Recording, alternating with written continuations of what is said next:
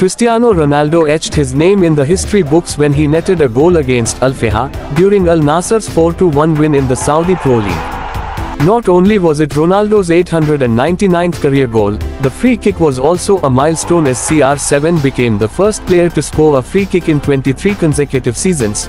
Cristiano Ronaldo and Lionel Messi are often considered the greatest of all time not because of their mind-boggling goal stats incredible silverware list, but because of their longevity.